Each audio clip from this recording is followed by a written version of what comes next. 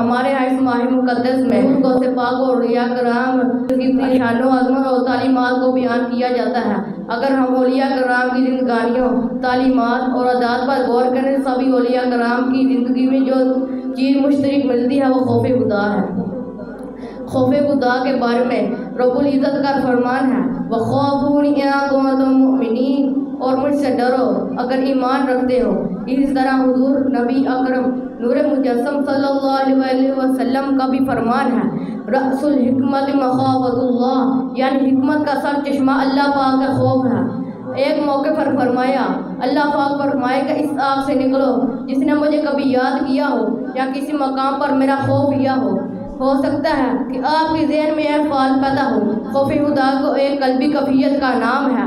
इसी तरह मालूम हो कि हमारे दिल में रबुल ताला का खौफ मौजूद है। तो याद रखें, हर कफियत कल्बी की कुछ अलामत होती है। जब हमारे दिल खौफी खुदा से लिदर गए तो झूठ, गिबत, फजूल, गोई और गाली गलौज के बजाय अल्लाह रसूल के ज़िक्र, तिलावत कुरान में मशगूल हो जाएगी। पेट में हराम लुकमा दाखिल नहीं होगा। आँख हराम देखने से बचेंगी।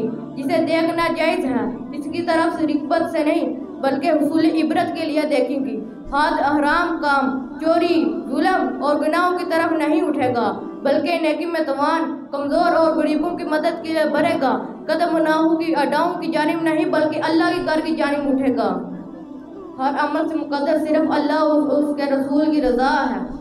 हजूर अबू बशर सालिह मर्री रहमतुल्लाह बड़े मुहदस की यह कैफियत होती कि खौफ इलाज से कामते और फूट फूट कर रोते जैसे कोई औरत एक अपने रोते बच्चे के मर जाने पर रोती। कभी कभी तो शीते कड़ियाँ और बदन के लिजरने से आपके अजा के ज़ोर अपनी जगह से हिल जाते और आपके बयान के सुनने वालों पर ऐसा असर होता। कुछ लोग खुद हो जाते।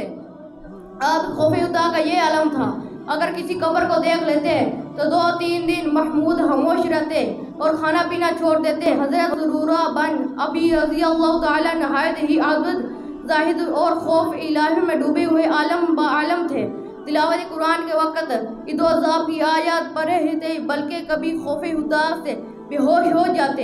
एक दिन फजर की नमाज़ में जैसी आपने इन आयात फ़ैज़ा नकूर फजालिक यौमिन यौमुन असीर। की तिलावत की तो नमाज़ की हालत में यहाँ पर खौफ इलाज का इस कदर गालब हुआ कि लिज्जत कामते और ज़मीन पर गिर पड़े और आपकी रूह परवाज कर गई खौफ दोजत का काश इस जहाँ का बशर न बना होता, शोर उठा ये महशर में। खुल्द में गया अतार, करना वो बजाते जहन्नम में गया होता।